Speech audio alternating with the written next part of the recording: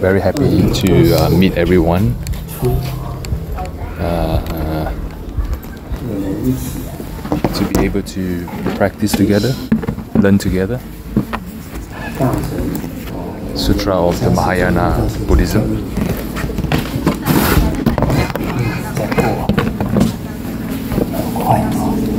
Time passes very quickly. Now we are entering a new year usually.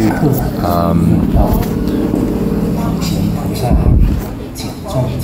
we do the uh, oat, more like um, a reminder about time passes very quickly by uh, one of the bodhisattvas. Uh, there's a verse about you know how time passes. Um, there's nothing to be. Um, joyful about our dwelling on uh, when time passes so quickly as our you know, life dwindles. So we need to put our effort in something that um, really matters, you know, our cultivations. A year is not a short time, especially when you are um, progressing in age. Uh, time is very precious. Um, we, are, we need to check, look into our heart, especially like, you know, have we um, getting more compassionate, more um, equal? This is something we need to observe.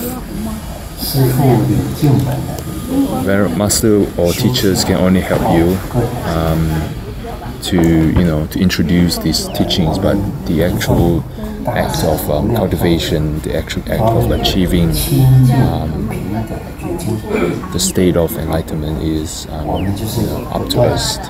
We have to do the, the job ourselves. All these uh, chantings is to practice our heart of equanimity, which is you know no discriminations and also heart of purity. This is the um, main point of um, chanting Amitabha, or the main point of learning Buddhism. 我们一般新年都说一元复始，万象更新。这个 Every new year we have a saying, you know, it's like a cycle, right? A cycle starts anew um, at a very 恢复 start of a new year. Uh, what 佛家 starts anew? Something we need to talk about. um, Buddhism talks about you know reincarnations, and sometimes they talk about not sometimes they talk about um, who was I before my parents gave birth to me? Who were you before um, we we were born? And if we understand the teachings, then our um, purity, you know, if we listen to Dharma a lot and we understand that this is actually um, of maintaining purity uh, of mind, sourced of our existence is our true nature. So when we say cycle anew, we don't just look at the outside. We also think about our state of mind, our state of cultivation, our state of being. Have we improved? Have we improved? Have we getting more and more, you know, less uh, subject to the uh, distraction of the outside? Uh, just like you know every cycle we need to renew, rejuvenate, um, amend, make amends on our wrongdoing in the past, and improve from that knowledge and wisdom. Uh, we should not stop at where we are and not improving not advancing ahead. uh, especially in terms of cultivation. It's always progressing, it's always ongoing, always breaking through the mode, breaking through the um, boundaries. Uh, to get better and higher version, better version of yourself.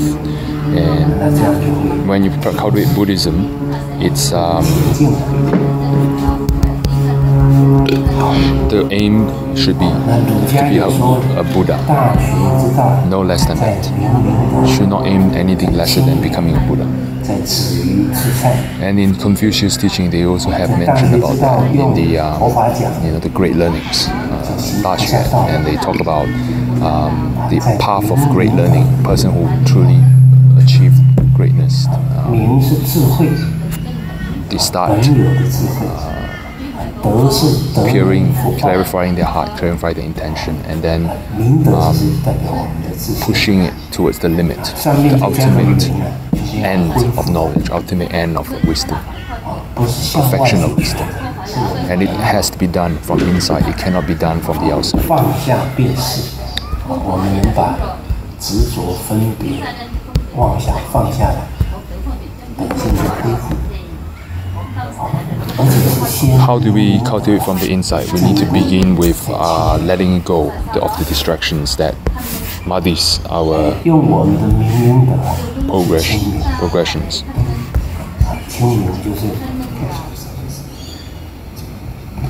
Especially when we start from, you know, our most current, most um, recent problems, and from there we need to clear out all the distractions slowly, slowly progressing towards you know, clearing, clearing the um, path towards our true nature. So Venerable just talking about the situation, technical situation of microphones not connecting with him. So back to the point, um, how do you help others? How do you help others um, be aware, be awakened? You need to be awakened yourself. Uh, same logic, if you need to help others, if you wish to help others, if you want to help others, you need to start helping ourselves, getting out of the situation, getting out of the um, confusion, ignorance that we're in. So for example, a person who love themselves, they take care of themselves, they will not give rise to any anger. They will not throw any tantrum. Right?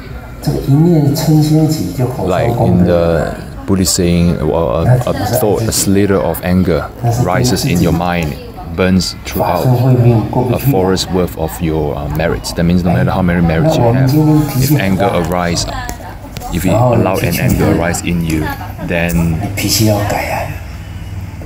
everything that you work on, you know, accumulate the merits that you accumulated will be burned away in an instant.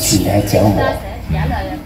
For example, like someone you know criticize you or whether true or not, we if we allow anger to come out, as in I don't like this, you know I hate this, or I, I, I don't like the way you say etc. etc. You already lost your progression because that's the first step, that's the first obstacle, right?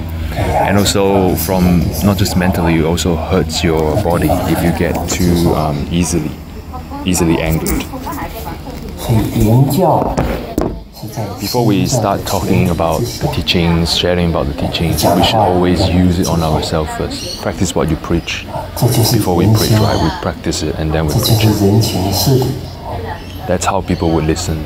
Um, Yes, we want to help a lot of people, our families, our friends, our relatives, but first thing we need to do is to improve ourselves. Like the way we say things, the tone. Only then our words have weight. You know, our words worth a go, way a go. Because we what we say we do it is backed up by our action. For example, our anger we're getting less prone to anger, getting less prone to temper. And with that, uh, our advice to others will be more powerful. And always go back to the principle. My, all the venerables, all the masters, all the teachers can only give you the ideas, the concepts, the path, you show you the path, but the actual walking, the actual practicing, the actual overcoming the obstacle is done by yourself, no one else. So how do we awaken? What do we awaken from? Start from the people we encounter, the interactions that we came across in everyday scenarios. Have we improved in our encounter with others? The way we react, react the way we um, react to the situation. For example, the people in the past, they really work hard and work hard to cultivate themselves, work hard to better themselves. So how do they do that, right? One of the um, way they do it is to have a list to record their doings, good and bad. We call it the books of merits and faults. So everything I did every day, how many merits, how many. So to give yourself a bit of a tally.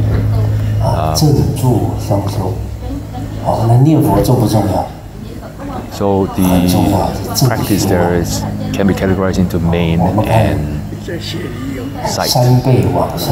Main, for us Pure Land practitioners, we aim for Pure Land, we aim for enlightenment by going to Pure Land. However, it has to be assisted by cultivating the good deeds, eliminating the unwholesome deeds, you know, the deeds that obstruct you from being more calm and more wise, compassionate. So, in back to our main practice, um, how do you become Buddha? How do you go to Pure Land? How do you actually cultivate that level? Start from our intention. There's a saying the direction is more important than effort because when you have right direction, your effort will be you come out naturally. So we need to have the right direction. In Buddhism, we call it bodhi heart we need to invoke that um,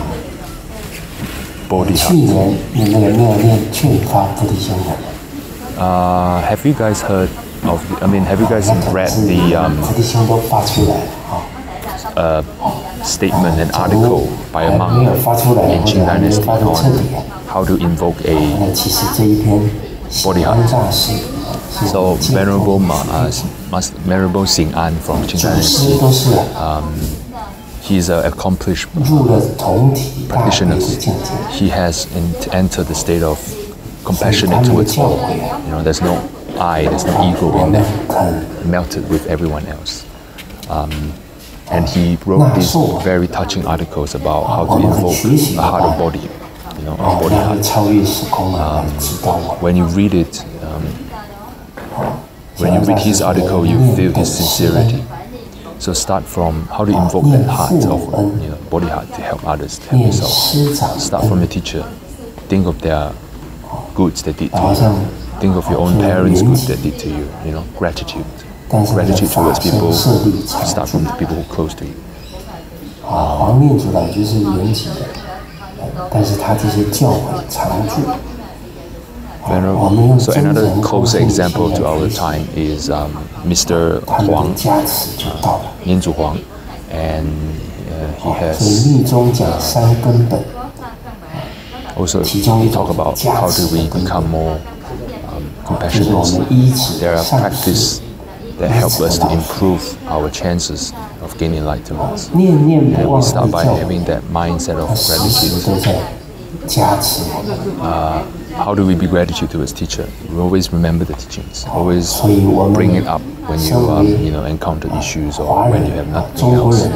Um, so in the um, Chinese, as the Chinese people or people influenced by the Chinese teachings, um, we are very fortunate because we have a, such a strong tradition of respect towards teachers.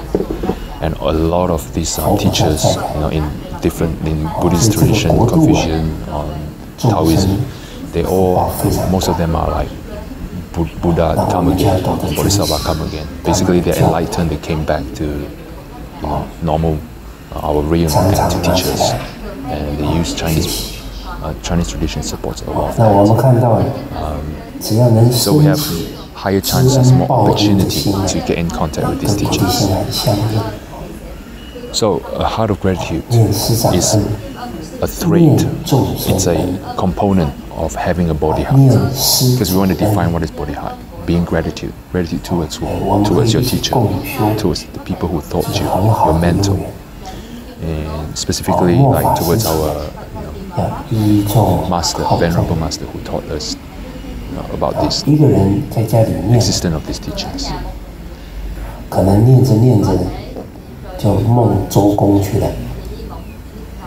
Sometimes if we you know keep the mind of gratitude, heart of gratitude. Uh, if we do it by ourselves, sometimes uh, it's easily doze off into sleep. Um, but when you work with other people like this Dharma place, everyone sit by sit next to each other. And cultivate together, they will be more.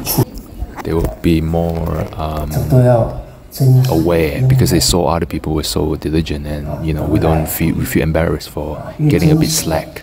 This is how it works you know, uh, follow the group help the, uh, make use of the group environment to help you to improve. Uh, so like this case we chant Amitabha together cultivate together every day every week. Um, it's uh, it's a very rare opportunity. Think about every single individuals in this group. Everyone has their own unique situations, and in order to make it here, they have to have all the conditions met before they can come here. Especially people with families. So to have this condition is a very precious uh, opportunities. So we should take care of these opportunities, take, make good use of these opportunities, uh, make good use of this place. Uh, when we cultivate together, the first principle is to bring out your most sincerest part and join, participate, contribute.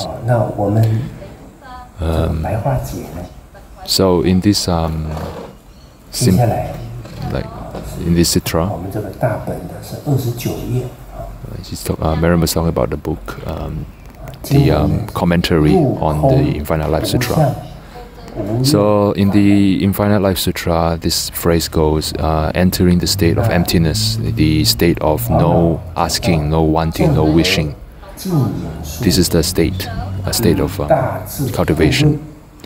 And um, the commentary was done by Mr. Huang, a great uh, come again, you know, the Bodhisattva come again, Buddhist, lay Buddhist. Uh, he talks about this um, emptiness. What is emptiness? Right? In Buddhism, you keep saying um, everything was arise by condition. When the condition met, it becomes. When conditions cease to met, it cease to become. So it stopped being stop being a thing. So these changes are split of a milliseconds, more than that, very quick. Hence, if you dig through the nature of everything, all phenomena, people or things or you know, all the dynamics between everything, every people in the world, it's empty. In that sense, it's, nothing is permanent there. So when we read the Heart Sutra, there is no um, physical, there's no permanent physical presence. There's no um, smell, touch, taste. You know the five senses. Everything we contact through five senses, they are not permanent. And when one can go through this, um, you know, realization, you know, not just understanding, realization, actually see it, you know, actually realize this state of emptiness.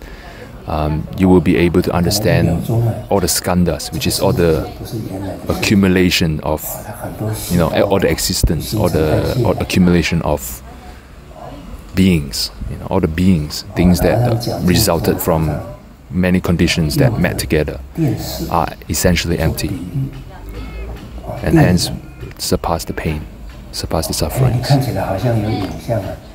Like the best example we can use is television, TV, right? It's we call it frame per second, right? Every seconds there are thousands of pictures passing by, hence creating an illusion of a moving picture. So our existence is just like the television, but much, much faster. Right? In the modern technology, we can achieve hundreds of frames in one second, creating a very smooth motion picture. We call it motion picture. Um,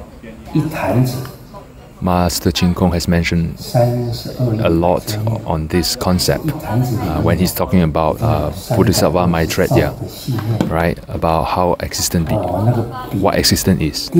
It's just like a TV, and uh, but much faster.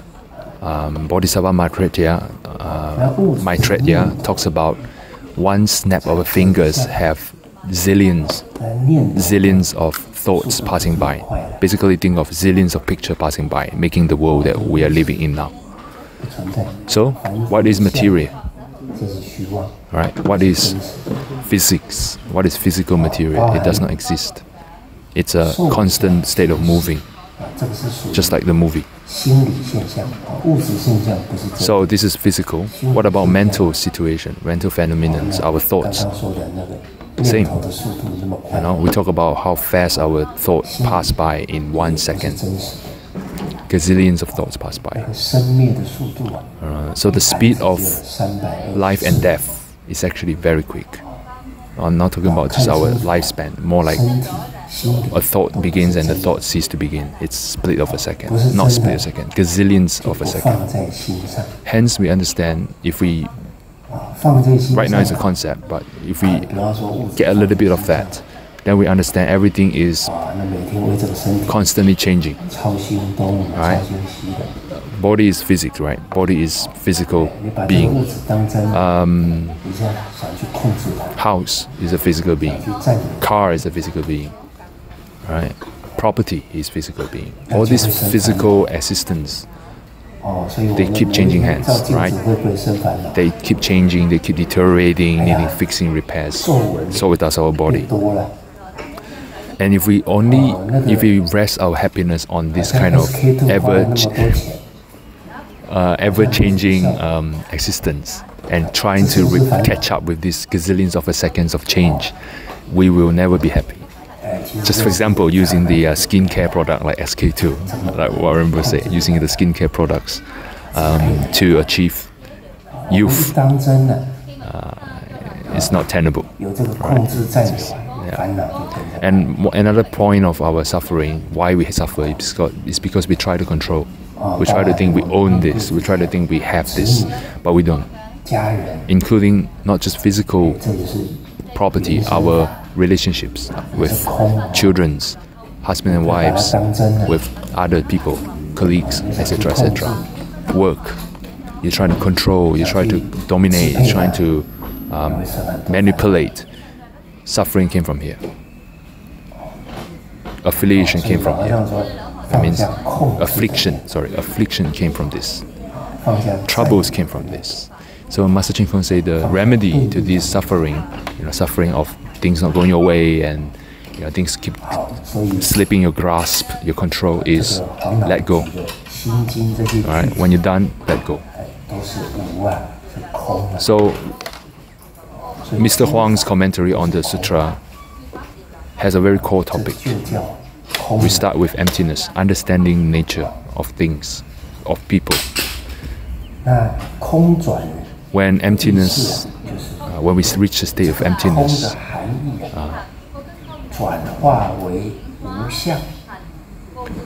put it in the other word, not attaching to thoughts, not sorry, not attaching to phenomena, not attaching to the surface. Uh, none of them is forever, fixed in one place, perpetual, unmoving. No, everything is changing, moving. If you're trying to control, it's like trying to control water from flowing. It will keep going. We can't stop it from moving.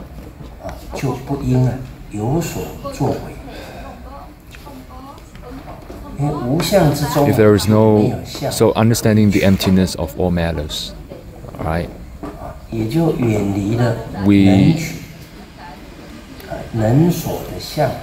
no longer be so passive like trying to catch up over something that cannot be captured.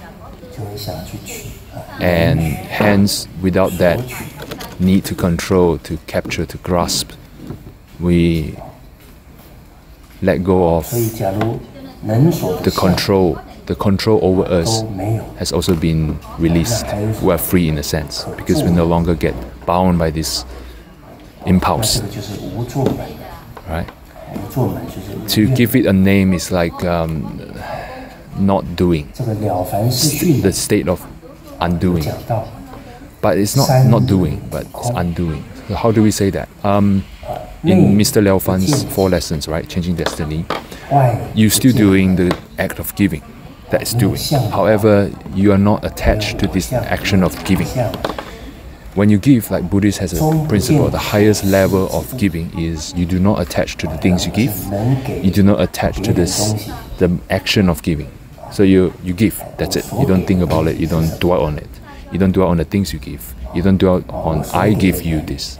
You know, you owe me this. Nothing like that happens. It's a pure act of giving. So there's no I give, there's no you receive from my gift. There's no I. There's no you. 没有 There's 做 no act of 心地 giving. 很清净 But yet you're still doing it. That's how bodhisattva operates. That's how an enlightened person operates. That's how a free person operates. That's how a person who have achieved purity operates. 斗数，哦，就很少的粮食可以种无涯之福。With that level of operation, the way we live our life, with that kind of level of understanding, even the act of giving may be very few, very humble, very small, but that merit is unlimited because of non attachments. For example, if someone donates millions of dollars to an organization, but they attach to the fame of giving, which means I give you, I want the fame, uh, attached to the action of giving, I give, praise me, attached to the favors that you give. Oh, you receive my gift, you owe me. So if that mindset is there, no matter how many millions one people give, it will be limited. On the other hand, if one who did the giving or did the good deeds without attaching the act of giving or act of going, doing good stuff, the merit is endless. That means the merit is limitless. Nothing can control, nothing, nothing limits your um, return because you're not attaching to the return. In the real historical example, like back in pre-Tang Dynasty, yeah, back in, in Imperial China, uh, old, old China, ancient China, there is a king by the name of uh, Liang. You know, King Liang um, loves to donate, especially to the Buddhist temples constructions. He's a Buddhist, but um, he attached to the notion of giving when he's doing that. I built thousands of temples, millions of golds and silvers. Um, and Bodhidharma from India, you know, the first patriarch of Zen Buddhism or Chan Zong in China, Chan Buddhism in China. He met Mr. King Liang, and King Liang was talking to him, say, "I have donated so much money. Do I have huge merits?"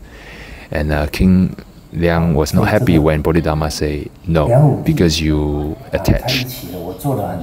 Sorry, I skip ahead of the story, but yeah. Um, yeah, Bodhidharma replied to him, say, you know, no merits, only fortune, no merits. He didn't say fortune. The Bodhidharma only says no merits because these merits can go above six realms, um, but because he's attached to the deeds, as we mentioned, so he's only restricted in a limited, we call it six realms, limited, limited fortune, limited merits. So if you, we understand the tenets of Buddhism, right? Um, we first three phrase says do no bad, do all good, and then third one and the fourth one is the important one that makes Buddhism unique. Third one is purify your mind. The fourth one is that is the Buddhism. Do no bad, do all good, purify your mind. That means no attachments. Understand the emptiness, realize it. That's Buddhism. Everything we did, if we no longer attach to it, we do it purely because we're doing it. Because it's right. Then we'll have the merits to surpass this restriction that we're in now. Hence, Pure Land. So in the sutra, it says the same concept. Yeah, all the good deeds you did, all the good thoughts you have, all the good intention you have, good speech. Only focus on dedicating it to go to Pure Land. That means you don't attach to, you know, I want this, I want that. You just direct it to Pure Land.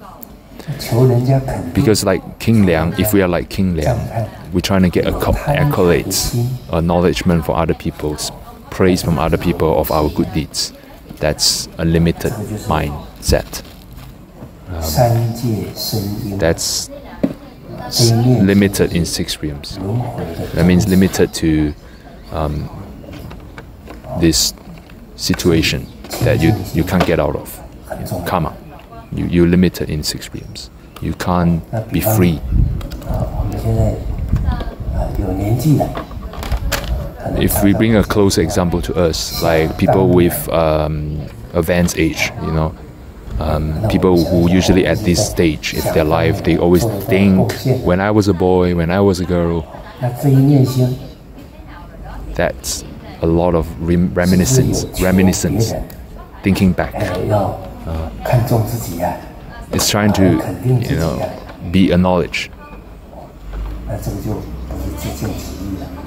and that is trying to chase up the past they're no longer there and um, limited ourselves to that existence that was already long gone, right? Um, so we're limiting ourselves because we're not purifying our mind. Let ourselves be free from the six realms. So this is the mind of um, This is a mind of this is a limiting mindset that stuck us to the six realms, stuck us to this condition. So what should we do? What, how should we? What kind of attitude should we have? Is do what we need to do, our responsibility, or what is good, but do not attach to it. When time's up, let it go.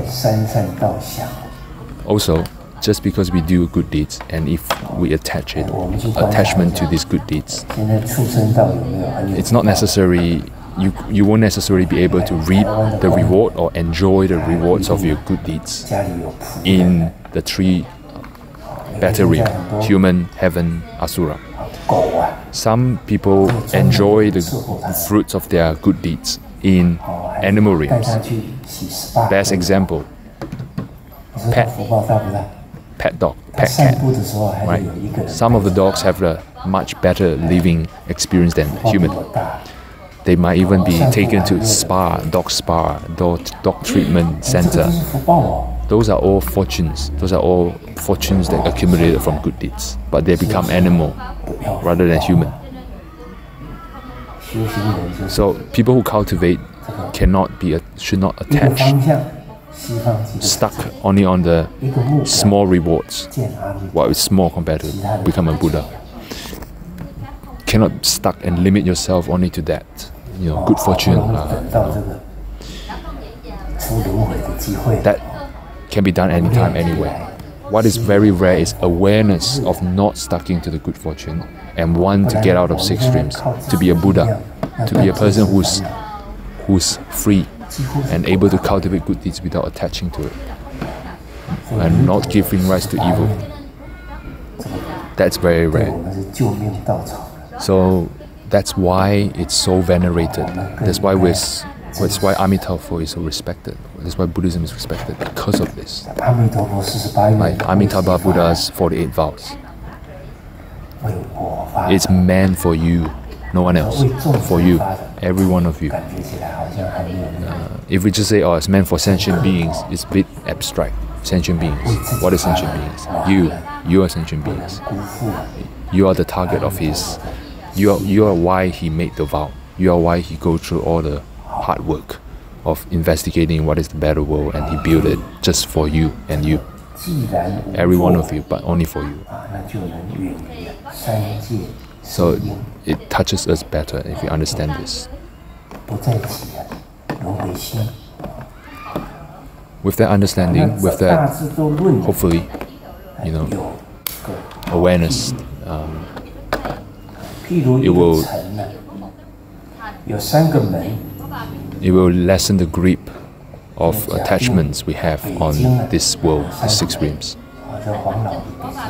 So Mr. Huang, who did the commentary, he came from Beijing, and he gave a very good, uh, very how to say, live, um, good speech, good talk to the students in Beijing His accent is quite heavy. Um, uh, that's why they were they make it into a book in writings. 另外一个地点哦，啊，这样大家听起来才亲切。 So same logic we apply to our scenario in Sydney, and then we 你 feel 一 more 个人呢，绝不可能 you 从 know, 三个 relevant. You know, teaching felt more relevant to us. So there's a 要 saying, there is an analogy. So there's a gate. There's a city, and there's three person entering the gate from three entrance. There are three gates into a city. Sorry, there are three gates into a city. There's only one of you. You could not enter the city from three directions at once. So this analogy means that there is three doors to enter the city of enlightenment. First is enlightenment, awake, aware, awaken. Second is right understanding, you know, right principle, right understanding. Last one is purity. That means not attached. So to put it in Buddhist school, the representative of enlightenment is Zen. You know, you just enlightened, you're just aware, very quick. But the second one is the sutra. You know, the Huayan Sutra, the great sutras. You read the sutra, you understand the sutra. The last one is um, Pure Land. Or Pure Land helps you to, um, uh, you know, purify your mind, focus on Amitabha. You need to enter from one of the doors. You need to pick a door and then enter it. You can't do it at once from three directions. Um, this is our uh, objective. Um, so, our mission is to get into the city of enlightenment from one door. Um, do not uh, hop around the gates, uh, and but not going to the destination. People who you know become you know who might who might become you know great monk, uh, great um, practitioners, and the um, uh, uh, are very well versed in the teachings. Um, you know, who know who have the knowledge of all Buddhism. Um, it's like people who hop from door one, door two, door three, but never get in. If you have the mindset of I want to be a great monk, I want to be known as great monk, or I want to be known as you know very well versed in Buddhism, it's just for fame. It's very surface thing. It's not actually trying to get into enlightenment and actually see what the Buddha sees. So, the, so we need to adjust our directions. It's very important to have the right direction before we put effort. First thing is to let go of selfishness. Because selfishness is the foundation of six dreams, foundation of sufferings. In other words, sufferings. And selfishness came from attaching to the false sense of self. Right? False sense of self is you think you are alone, you're not with anyone, you're not connected to anyone. So you need to protect yourself against others. But it's not. Everyone's connected. Everyone came from the same Buddha nature. So selfishness is the antithesis, which is the opposite of enlightenment.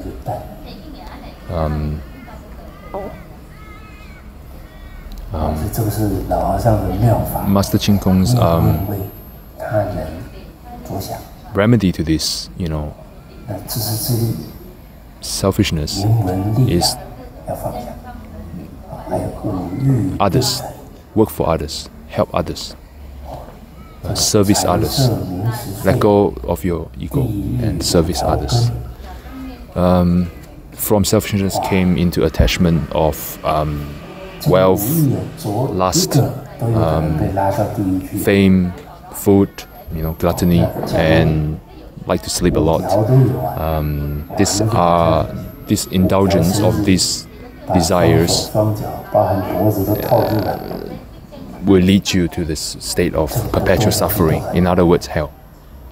Right? That means you're constantly not satisfied, always craving, craving, craving, and because of that, you do a lot of bad deeds and yeah, karma. So summarize all this into letting go of greed, hatred, ignorance, arrogance, and yeah, letting go of the pursuit of wealth, pursuit of fame, pursuit of um, influence.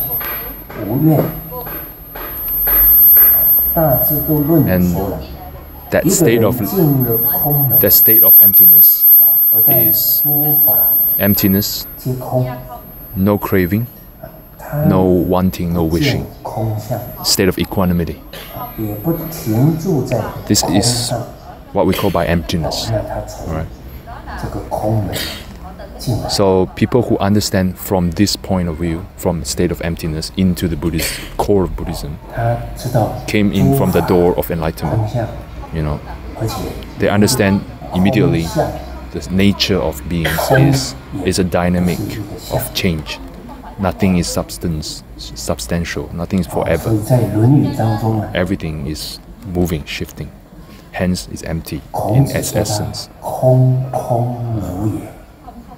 空空如也。哦，完了这个就有味道。嗯，空也什么？空啊，啊，你空没有空掉，那还有一个空相。 Be very aware if one person wants to walk into Buddhism from this door of enlightenment.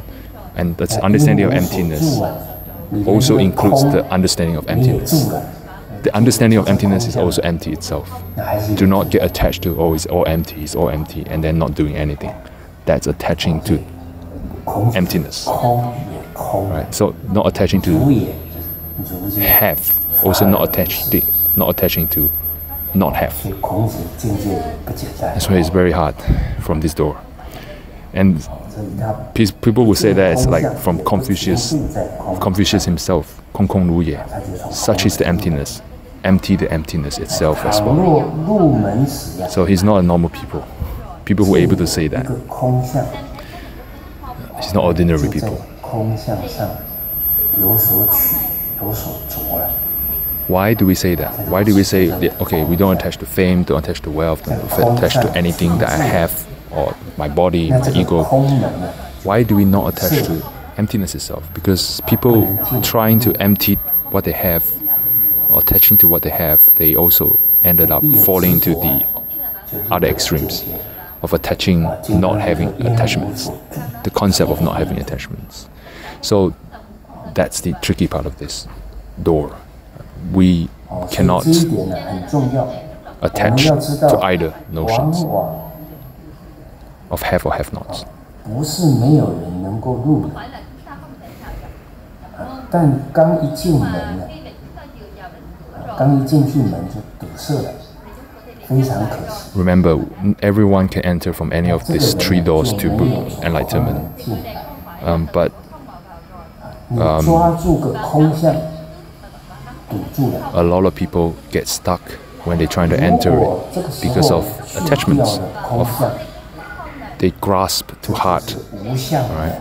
It's like trying to cross a river using a boat, but you're attached to the boat, not letting go of the boat once you reach the other the end. Um, so remember, if you want to go in from directly understanding the enlightenment, understanding the nature of enlightenment itself, which is start from emptiness, we also need to let go of the notion of emptiness.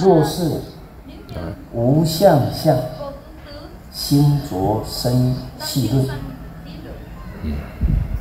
啊，黄老解释到了，无相本来是无相啊，啊，你这一执着啊，无相 So he further 就成 explained, 了 right, 相。 not the state of emptiness, the reality of emptiness, 无相的相， such is 还有一个无 it is 相 what it 的 is. 又是一个 And if we attach to say, oh, this is empty, this is not empty. So I need to get out of not empty. And you're stuck in the empty. That, the idea of emptiness becomes another object of your, of, of your attachments. So the goal is not to attach. That's the main point. Not to hop from one to another, not to attach from this to that. 相，那不在真心了。And 你住了一个无相不相的，那还是入不了境界。好的，错误的乃至无用的见解言论呢，and because of that, some people who you know attach to the idea of emptiness because it's only meant to help you to get to the state of enlightenment from equanimity. And if people attach to the idea of emptiness itself, it hurts the progress of improving ourselves. It hurts the progress. Uh, because people might give rise to many wrong ideas, hence wrong actions. Like oh, since everything's empty, nothing's permanent, there's no point for me to put any effort in my life. There's no point to, you know, take care of my family or no point to do anything good. That is not Buddhism. That is not the point of learning emptiness. 所以这就叫入空无相无愿法门。 So very important to understand the fine line. Right? It's not say calling for inaction or in Chinese tangping, you know, lie flat, don't do anything. That is not Buddhism. Right. What we mention when we say not the state of undoing, the state of emptiness is do not get attached to it.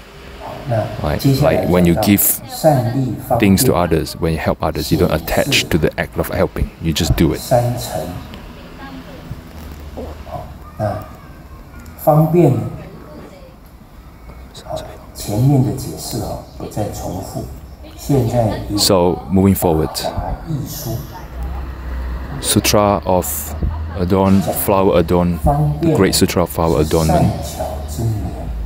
These ideas, notions, sutras, they are all a bridge. They are all convenience in the sense of getting you across to the other side. They call it convenience, 方便. Mm. Or tips, some tips to help you getting better, getting there. Some people can say Dharma very well, can grasp you know, the ideas, the mindsets of sentient beings so they can help them, like people. They understand the hearts of the people and use a lot of words to get them across.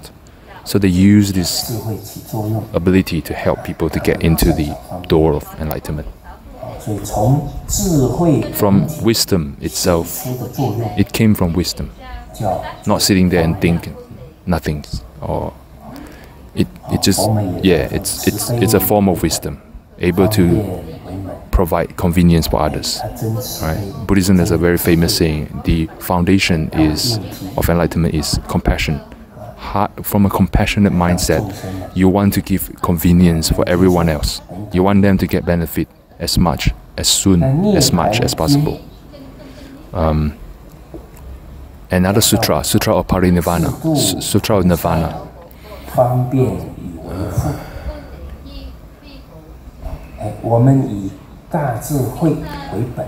saying about a idea of enlightenment, idea of how Bodhisattva operates. Wisdom is like your parents. Um, convenience is like the Convenience is like the door, and wisdom is the idea of coming out with a door for people to get in. With pe people with, um, you know, with convenience, you can help a lot of people to understand and to really relate the teaching to their heart. Um, another um, commentary. They use a lot of commentary. Mr. Huang used a lot of sutras, established sutras, to prove the point. So another point from another source. People who has deep understanding of emptiness, um, they opened they open to the understanding, realization of emptiness. The understanding is not shallow, like don't do anything or not attached to anything.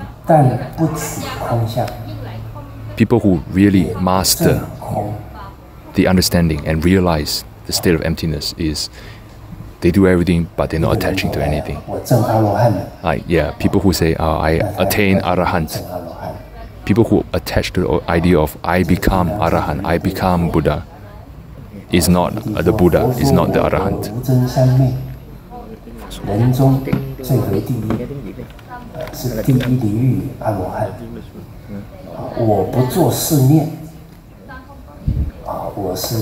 人啊，我是离欲阿罗汉。啊，我若做四念，啊，世尊则不说我是要安兰那行者。Sorry, just waiting. 我做四念是，我证阿罗汉了。 嗯啊有所证明， If one give rise to say, I am Arahant, I have attained. 对吧？真心一法不立的，哪里还有一个念头我 People who 证 have that mindset, oh, I have done this, I have achieved this, I've attained this, 哦，所以他没有 they are not pure mind. Arahant, the first criteria to become Arahant and to even to become a Buddha, start with Arahant, is emptiness, is purity. Purity. Pure mind do not think about I become this, I become that. I have this, I own this, I climb this. No. And because having that mindset, it becomes you stuck with that level you no longer improve. You're stuck in that state. Uh, how do you improve the state? Letting go of the previous state. Just like movies, right? One picture after another picture, keep things moving forward. Uh, if you're stuck in that situation, it's like you're stuck in that frame. You no longer want to move forward. You like this frame so much. You're stuck there.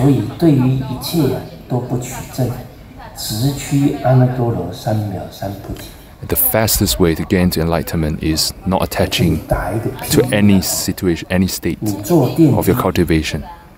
It's how one person gain Anuttara Samyak Sambodhi, the um, perfect, supreme, unsurpassed enlightenment. Use another example.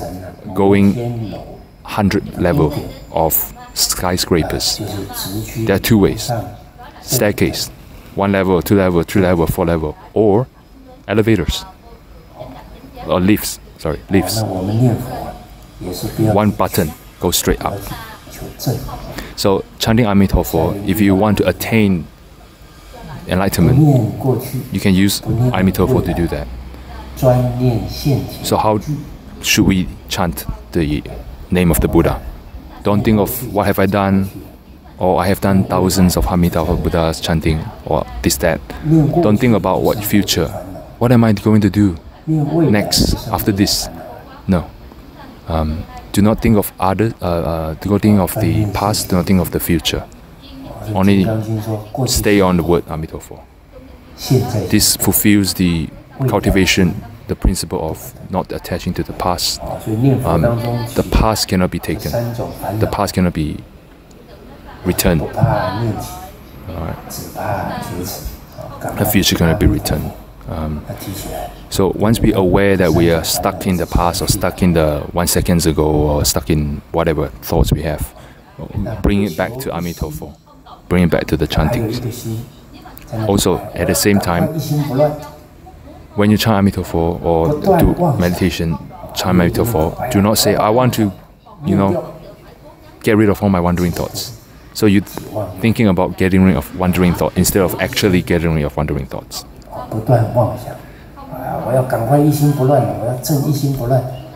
Or I want to attain the uh, one mindedness with Amitabha. That means enlightenment.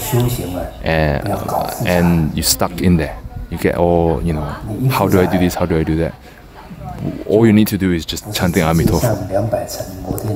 It sounds easy, but it's not because we get stuck in that. Yeah, trying to do something, but to no avail. All we need to do is walk into the uh, lift, click that button, hold, hold to that lift, and then all the way to the end. And our lift is Amitofu. That's it good people Amitabha, ah. bad people Amitabha. Uh, ah. a very um, favorable condition Amitabha, a very um, negative situation Amitabha. This um, convenience, uh, there's two types. Because of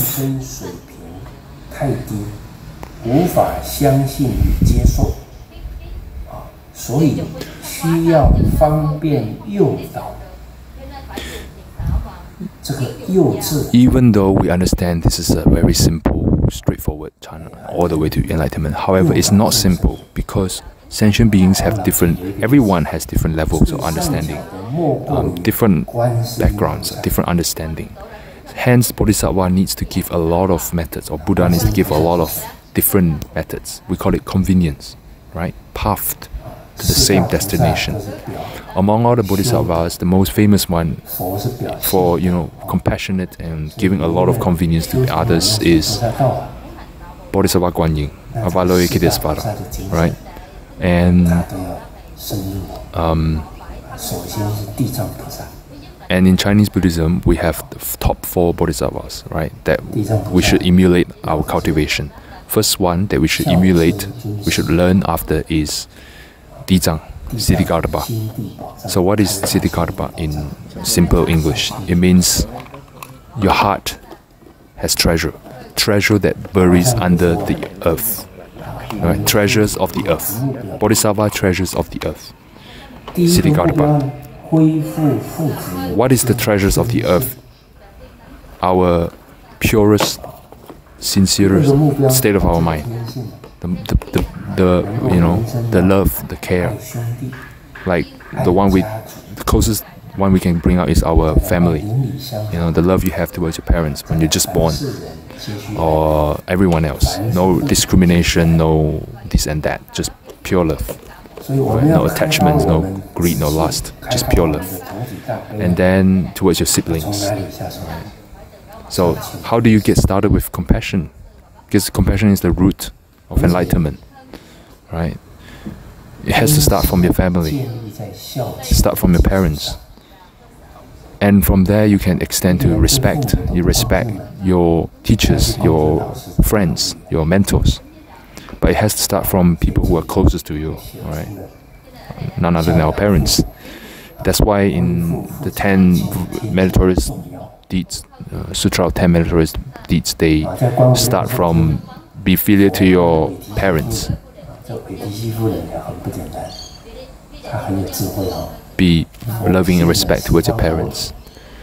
Uh, there is a story, Buddha story. Um, during Buddha's time, there's a lady. Um, she's the queen, I think. Um, uh, there is a scenario, things happening, and she's trying to seek help from Buddha because they were imprisoned.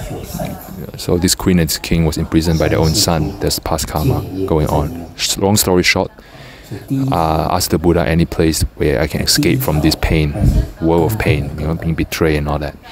And Buddha say, yes, uh, there's Pure Land. So how do I get to Pure Land? And so she selected Pure Land, and Buddha tell him, you need to um, start by having the um, three foundations of going to Pure Land.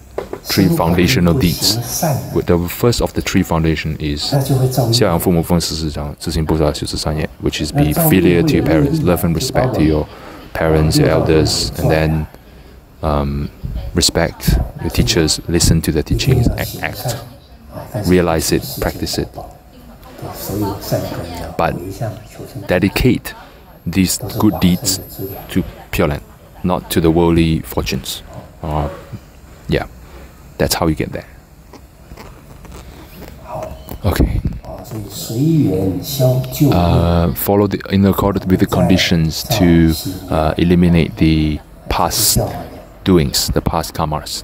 You know, whatever opportunity arises, take it as a chance, chance to wash away our past karma. When we receive it without hatred, without greed, we're able to let it go. And then we're able to cleanse our karma. Uh, Venerable himself, uh, Venerable Cheng De himself has a friend.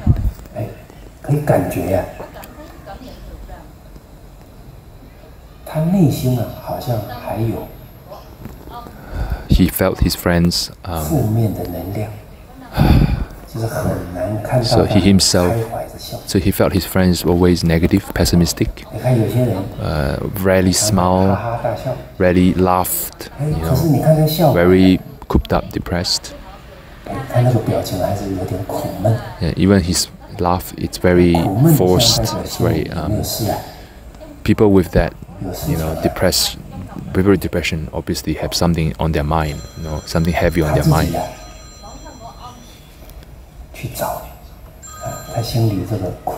so he's trying to find out why am i so depressed why am i so cooped up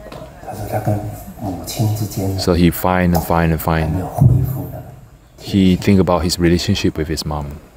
It's some conflicts maybe. And so when he was seven years old, his parents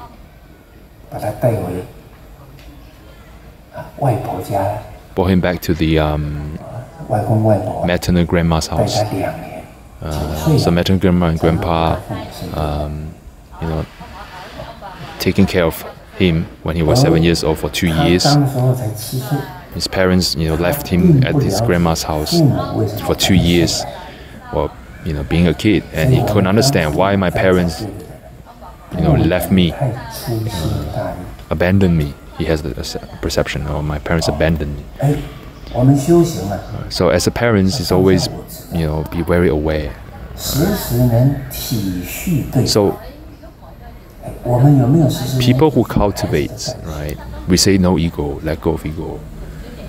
One of the things is you, if you already have children or family members, we all need to let go of our um, perception and understand what they feel. There's also cultivations, right? This everywhere is cultivations. Everywhere is the opportunity to cultivate, right?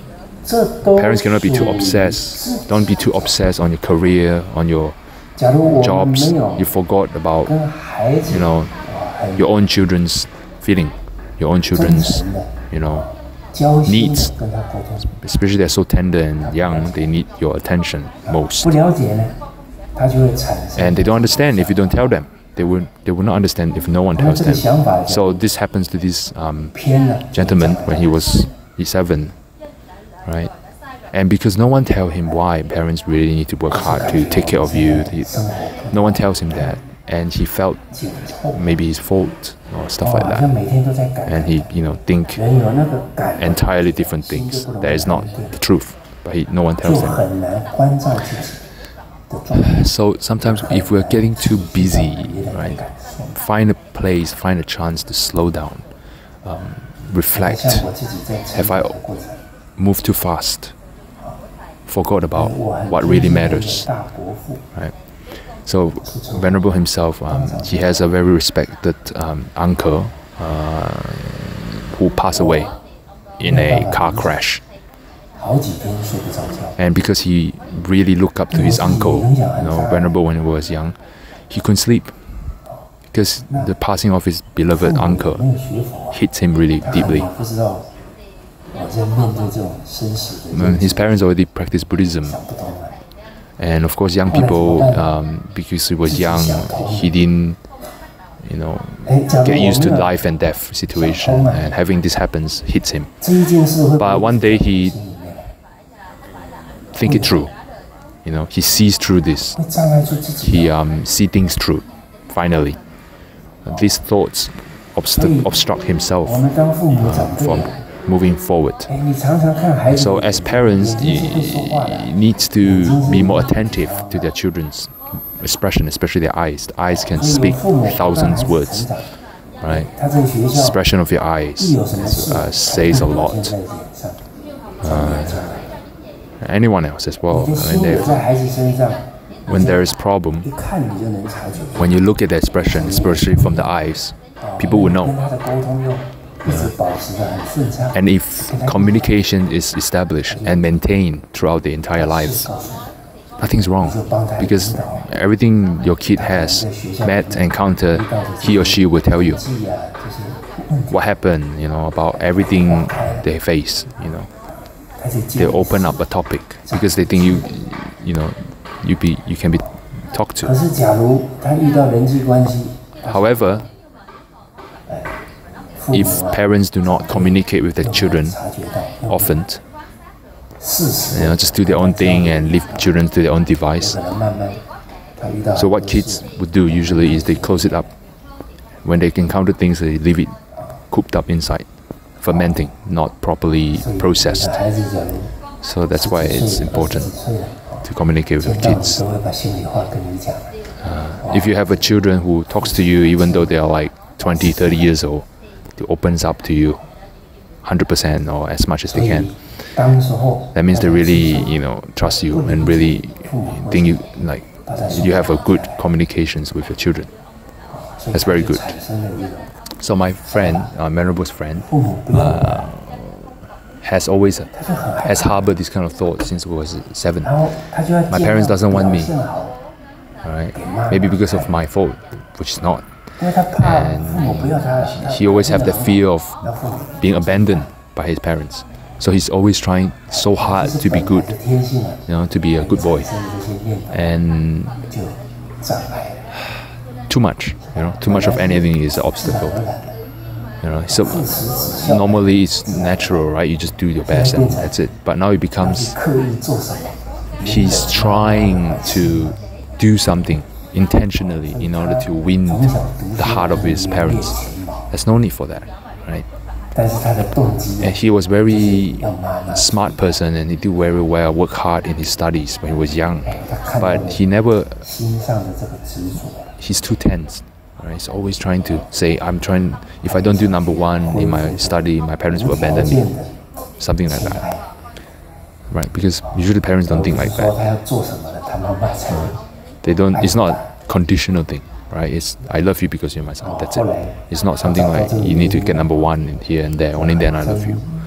But lack of communication brings out this kind of you know mindset, unhealthy mindset. So now he's adult, talks to me, and then you know he think it through. Uh, then he goes to his mom. sometimes he likes to uh, you know go to his mom and say I love you trying to you know get affection from his mom and dad. And his mom was like, "You're already 60 years old. Why do you still need to do that?" Um, so it took him so many years. It took him 50 plus years to let go of this obstacle. At the age of 60. This is such a heavy burden uh, to have. Um, and when he released this burden, you know, when he talked to me again, that relaxation can be felt. You know, he's much more free. So first one is that's why we need to learn from the Bodhisattva Dizang, treasure of the earth.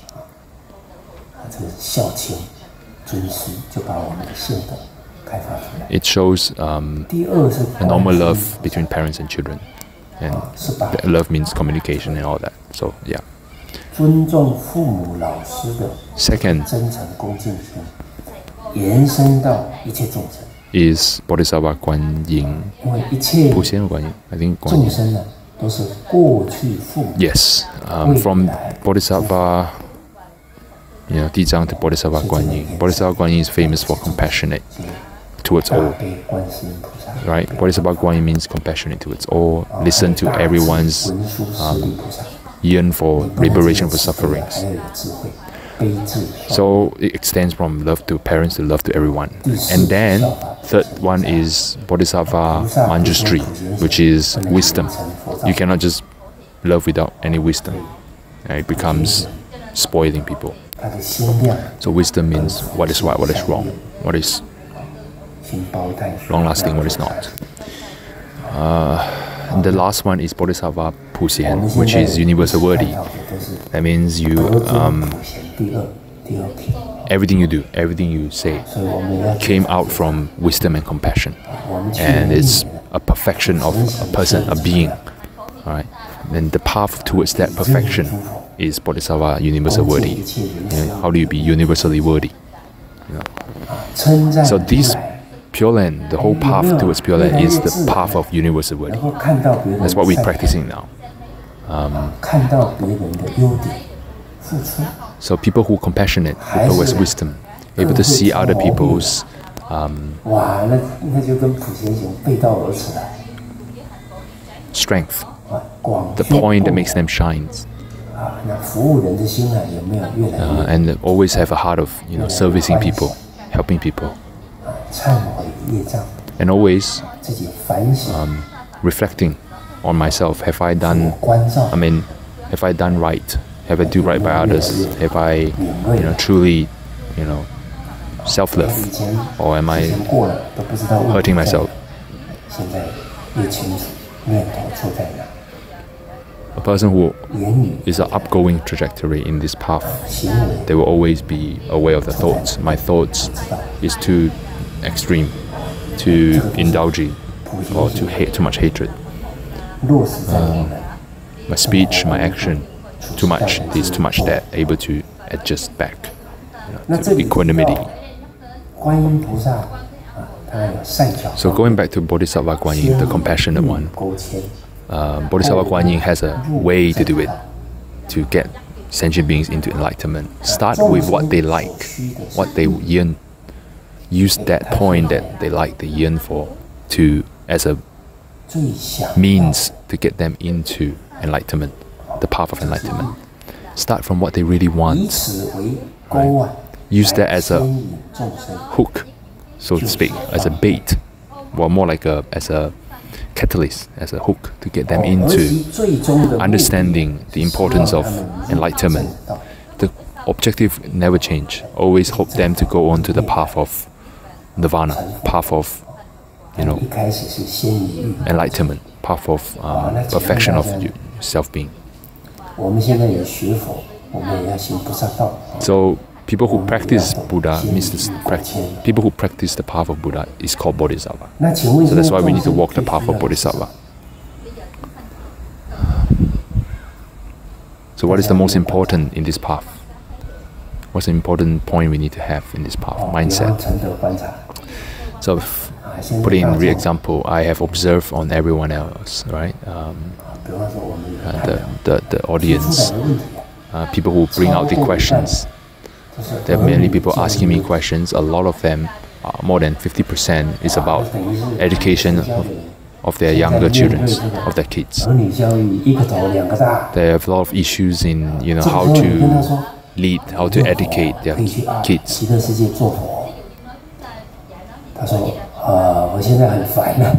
And uh, of course, in my sutra, we talk about going to Pure Land to be Buddha, but they have a lot of pressing matters at hand.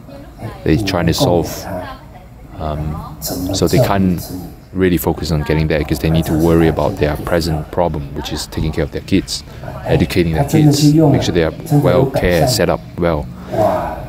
So we should offer the wisdom from our experience towards these people, towards them solve their pressing problems. Uh, so this is what I learned from Master Chin Kung. Uh, so what I would say is I learned from Master Chin Kung. So he shared a few very important point, relevant point, and he say, and then he said it came from Master Chin Kung. Everyone will take up, you know, the teachings of Master Kung and trying to listen to much as much to try as they can and solve it. Of course, everyone has different background and conditions, and you know, it has to be tailor made, right? To according to how close we are to them and stuff. Uh, it's common to say, it's fair to say, a lot of people has their own. Everyone has their own knot trying to untying. Every household has their own problems to solve. Uh, it's very hard to get your peace of mind nowadays as well. First thing is your, um, you know, the um, ongoing troubles in the heart. That's internal problem and external temptations, technologies and all that, distracting us. Some people say that um, the problems of 20th century is cancer. Problem of 21st century is mental health, depression. One of them is depression. The problems of the heart. Right. 20th century is the problems of the body. 21st century is the problems of the heart. So how do we solve the problems of the heart? We need to use the medicine remedy for the heart. Dharma is the remedy of the heart. Wisdom is the remedy of the heart. Compassion is the remedy of the heart.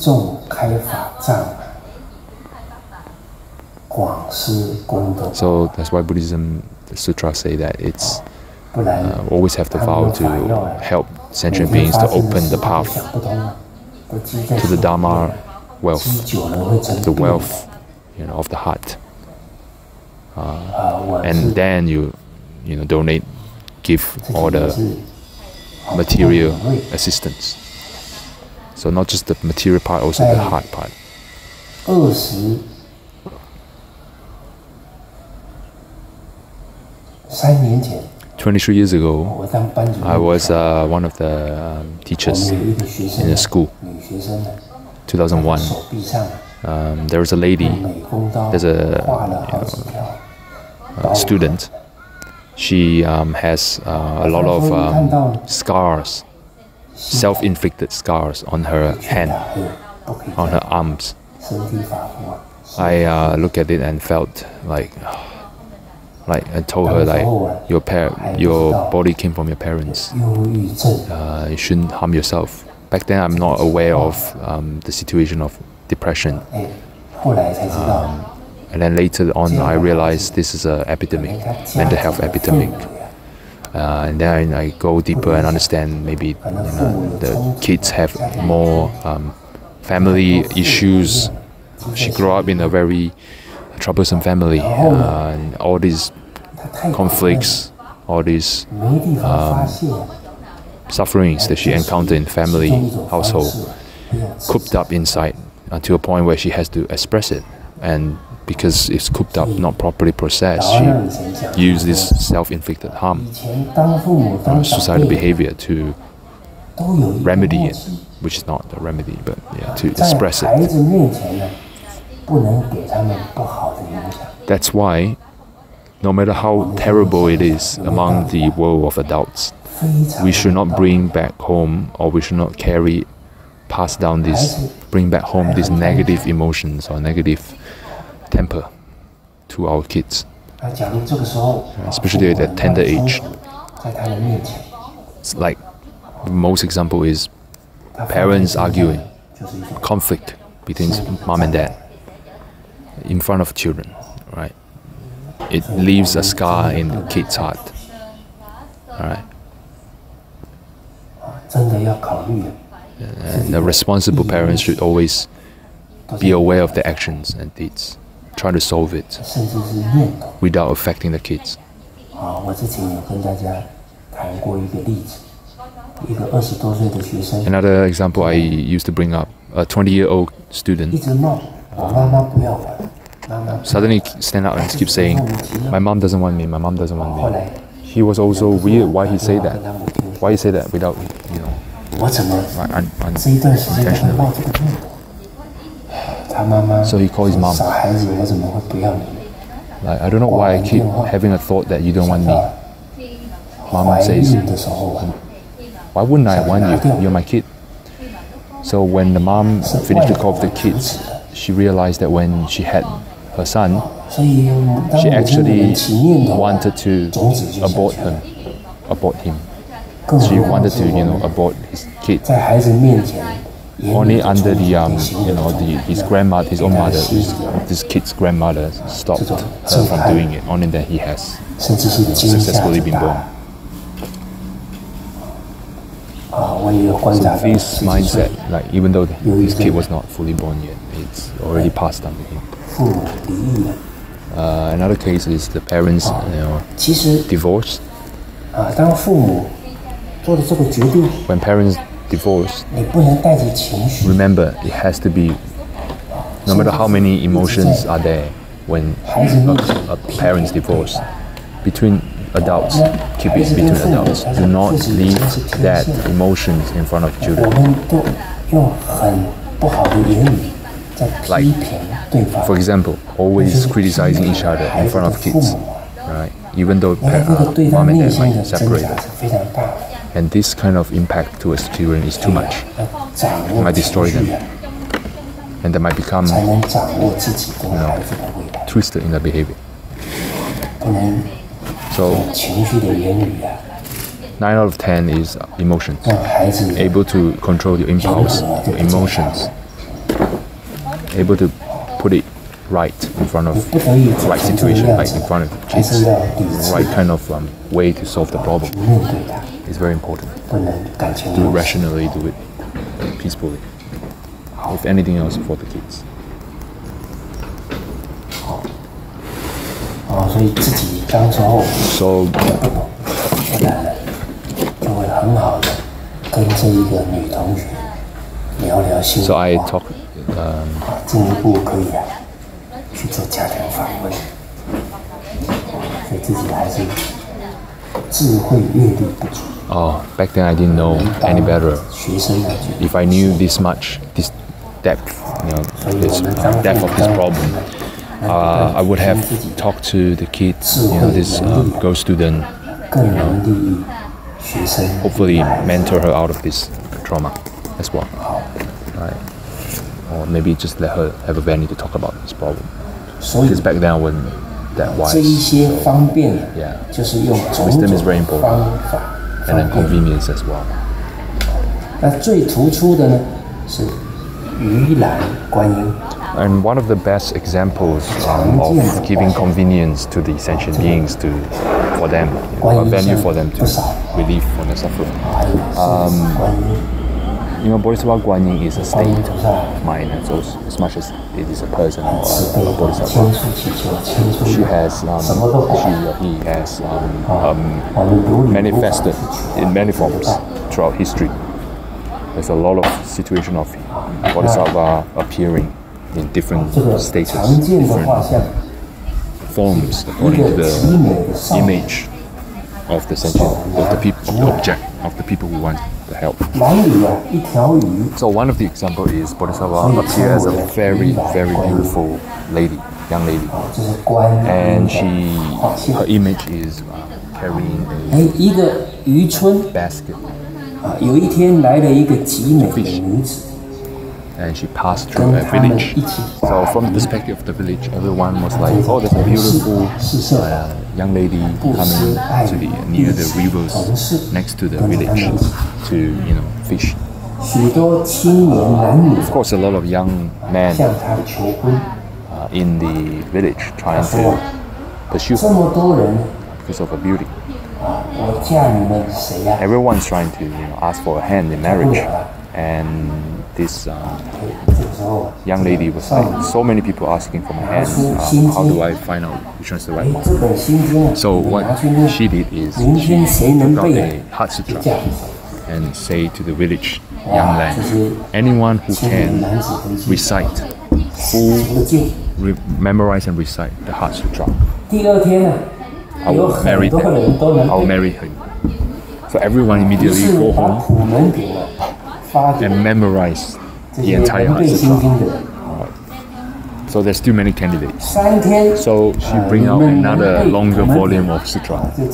Um, anyone who can memorize this sutra, I will marry. So people came up. After three days, there are seven people who can memorize this longer volume of sutra. Of course, not enough. I mean, too much people. So she brought out one of the longest volume of Buddhist sutra.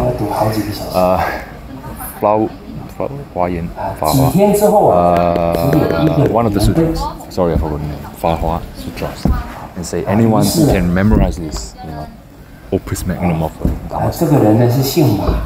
can marry me. So the last person who there's only one person goes by them, the name Ma. So Mr. Ma and this young lady married. When they finish their marriage, marriage, they're trying to you know consummate the marriage on the first night, oh, oh, before they consummated, this young lady has a stomach ache, then pass away right after. So they didn't do anything. So it's heartbroken. Mr. Ma is heartbroken, right? Because she asked the hand in marriage, and now she passed away. So there's a monk came after year, a year after the incident talk about this situation. Mr. Ma talked about this, the whole village talked about this. Zheng Pang was like, this is actually a Bodhisattva Guan It's actually the Bodhisattva's uh, manifestation. The point is because everyone in this village fishing for life. Fishing is killing. Killing is negative karma. And it will yield the karma of getting killed. So trying to educate. How do you educate? Using the, what they really want, right? Which is beautiful women and all that. And then to use that as a mean for them to understand the culture. Um, so if you don't believe me, the monk says, open up the um, open up the um, coffin of this um, deceased young lady. So Mr. Ma opened it up. There's no one in there because after a year, right, it, it's not fully decomposed. So no one is in there. That proves that this is a bodhisattva manifest. So this is a performance, good performance, a, a way to do use convenience to help sentient beings to understand cause and effect, understand Buddhism. And that range Of helping is unlimited, 他相 very 信 far 他 wide. 接受了， As long as that person has something that 本来 can 得不到救 work 度的 on 人 and help with, 得到救度了。 Bodhisattva will help. Even those people who seem helpless 所以这个 or hopeless, 善巧方便的德 They will 啊 also 是非常广大。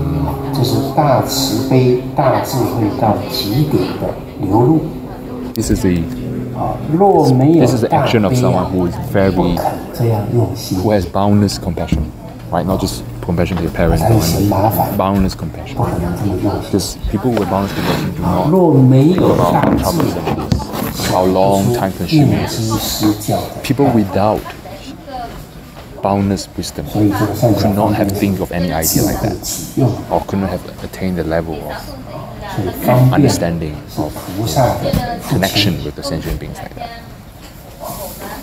所以以种种的诱引，让众生渐悟，渐渐醒悟过来，而 Yeah, 得度， using all sorts of convenience, 这 all 就 means of 称为 convenience, 善利方便。 just to awake, just to wake up the 善 sentient 巧 beings, 的 just 建 to 立 wake up the 了 people, 方便度生 get 的 them 方法。 awaken,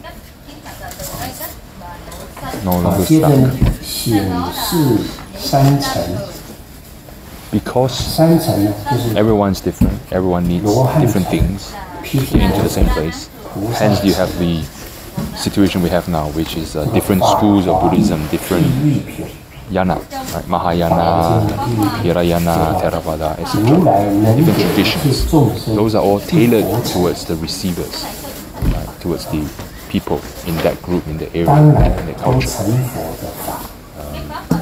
但不是所有的重臣 Not all sentient beings, however, of course, not all sentient beings can accept it. 所以说到法华，uh, about the um, Dharma. 最后，最后，这个释迦牟尼佛讲经说法时间。Shakyamuni Buddha, uh, 49 years of uh, giving the Dhamma Sutra. 49 years it's all about um, there is sequence in his teaching. He don't just say. He start by um, building the foundations. Uh, and when he talk about this sutra of Fa Hua, uh, you know, where you know um, everyone can become Buddha, uh, uh, there are 5,000 people who uh, retreat from the um, state. 你一接介绍他就接受，我呢就太不寻常了。 Some people, if you introduce to them only once and they accept it, 他一 It's not 接受 normal. 他就是要成佛了， because once they, once they actually accept it, they do it and they become 这 Buddha. 是万修万能去的。所以 So this is like 这个男性之法能接受， people who can accept, like Pure Land. Switzerland is very famous for its hard to believe because you just chant Amitabha, you don't have to do anything. All right, that's it. Um, so people can take it and do it immediately, they are not simple people, right? Not simple as it seems. Because if you look at Shakyamuni Buddha, he has to take 49 years to get people to the point of accepting, you know, the Mahay, uh, the Parin, I mean, the um, Prajnaparamita, which is the top, which is to become Buddha. Like all this concept takes time to build in. Uh, so when we talk about Sutra Fa Hua, right? In Sutra, Fa Sutra, there's a very famous um, Lotus Sutra. Thank you. Yeah, the Lotus Sutra, they have the um, very famous analogy, analogy of a house on fire. So this story goes by this: house on fire. Uh, kids are playing inside the house, even though it's on fire, and all the all the um, children are, you know, they only know how to, pl- they only play. They don't realize the situation, how dire it is. The father of these three kids, the owner of the house, wants to get the kids out to safety. So the kids not listening to uh, and grows in their game, in their gaming. So he yelled at the kids and say, "I got this um, goat cart." Horse cart and ox cart. Here's here's your pony, basically. Like you come out, there is a goat cart, ox cart, um, horse cart. So the kid was very um, happy at the, you know hearing the toys and then hop out of the house, uh, thus saving themselves, escaping from the you know fire. And when the kids came out, they're not getting the goat, they're not getting the horse, they're not getting the ox, not any ordinary cart. They got the rare white ox cart. So this is what Buddha did. He's trying to use you know, whatever the sentient beings could understand, the level of their understanding, tailored towards them, and then slowly lead them out of their um, shell, uh, which is burning because it's not a safe place. And once they get out, they realize they got more, they got much better bargain. They, they, they got it better than, much better than what they bargained. Um, so these um, bodhisattvas who are appearing as monk or appear as lay Buddhists, you know, all sorts of status um, they all listened to the Buddha when he shared this Lotus Sutra and this analogy. Everyone has gained enlightenment on the spot because they realized that they are actually talking about them. So only then they realize how important this sutra is because it actually has directly benefits the people. Um, who really gets it. And that's why there are 5,000 people who retreat because they couldn't understand it at the time.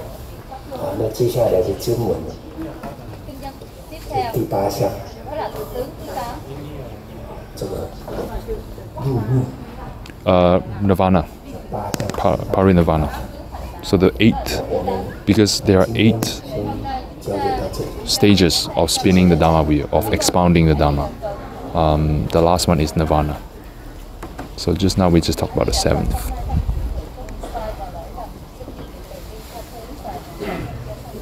Uh, that's it for today. Thank you so much, Amitofo.